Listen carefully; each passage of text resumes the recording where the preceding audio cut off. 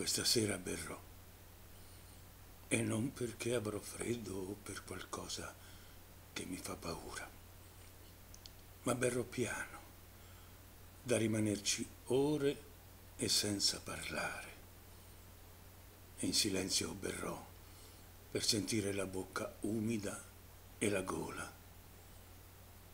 Infine sarà per avere qualcosa da raccontare tra me e le mie labbra, come in un bacio meno denso